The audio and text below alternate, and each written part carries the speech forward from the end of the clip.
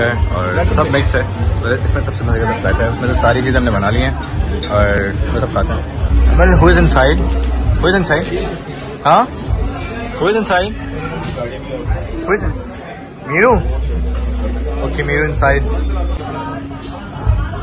wow the art and the artist चलिए मम्मा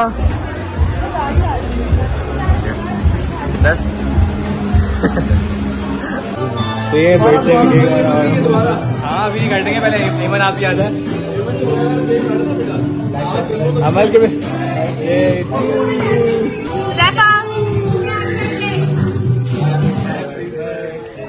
happy birthday हो जापा हमार